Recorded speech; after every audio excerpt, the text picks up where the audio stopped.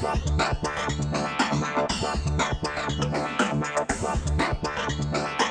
Terp Nation, I'm Marissa Pilla here to give you a behind the scenes look at this year's Maryland Madness.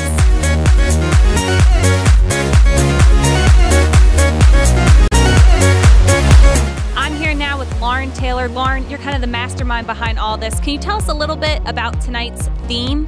Yes, we actually decided to go with the Magic theme this year after super big Maryland Madness being a super big hit, obviously, last year.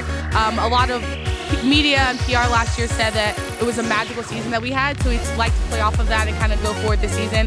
Um, have a couple tricks up our sleeve. Um, a, magician, obviously, team intros are going to be a surprise, so looking forward to it this year. Well, we're still a couple hours from tip off, but the energy is electric as fans line up to get an autograph from their favorite Terp.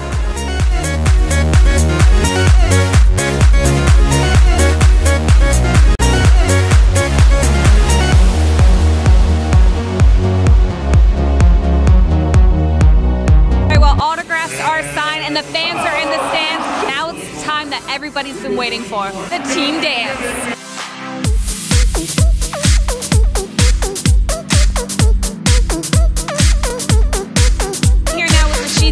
This is your first Maryland Madness. What did you think of it all? Uh, it was a fun night. You know, uh, it was a night we had to come out here, we interact, get to interact with the fans. You know, it's my first outing really in the Maryland uniforms. It was a great time, and uh, just to show these guys, you know, what to look forward to the season.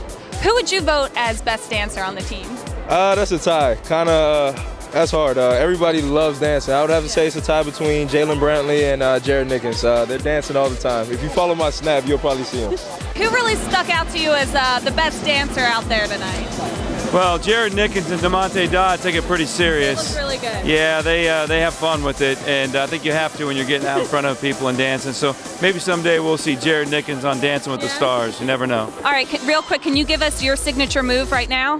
Oh wow! Uh, I don't have a signature move. I just do a little, you know, two-step. I like that. Back and forth, nice and simple. you know, Classic. classy. It goes with every song. You're good. Exactly. I like. That- Another Maryland Madness is in the books, and it turned out to be a fantastic, memorable night for players and fans alike.